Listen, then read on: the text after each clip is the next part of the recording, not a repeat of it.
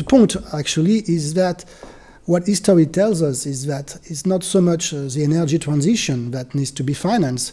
It's probably that uh, the financial market and investment need the energy transition.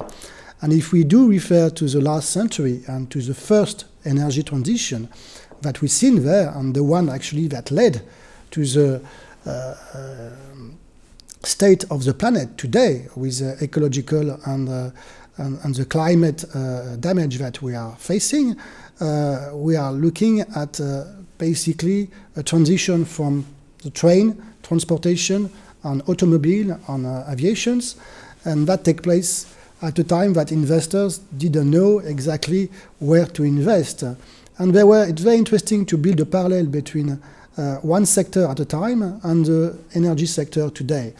And very interesting to find out that the market by then was dominated by one industry, which actually has been dominated the market for almost half of the century, since 1850, and that all investors have their eyes on one industry, uh, which is uh, basically uh, counting about 40% of the market cap of the Paris Stock Exchange, New York Stock Exchange, or the London Stock Exchange, and even to an extent that the first Dow Jones Industrial was named after that uh, sector.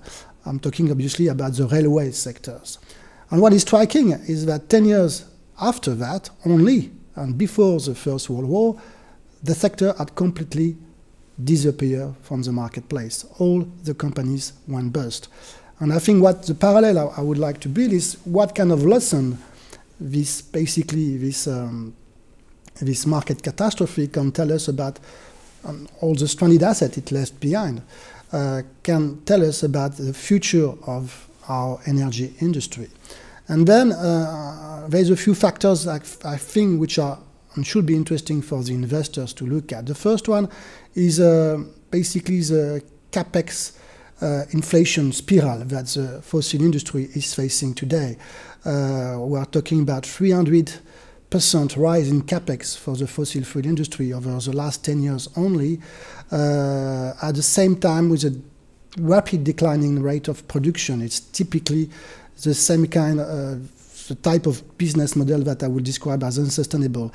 Uh, the second thing is basically missing uh, the opportunity to foresee the emergence of an alternative uh, ways. And obviously, I'm talking for renewable today, but I'm also talking for the automobile uh, uh, at the early 20th uh, century. The leaders of the railway industry totally failed to foresee the emergence of the automobile industry. And what is striking is that everything in their hands to be the leaders of that new industry.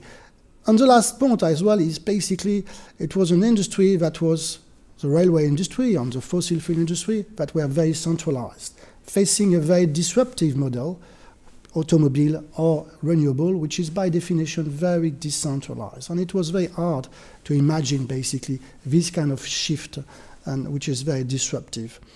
Last but not least, I think it's important to remind uh, to today's uh, investors that both railway uh, majors and the, and, the, and the oil majors uh, were basically um, offering very high dividends. You know, the, the yield, uh, there were basically yield stocks, and it was therefore very difficult for the investors yesterday, and it is difficult for the investor today to run away from these companies, from this industry that were basically ensuring a very high yield for your portfolios.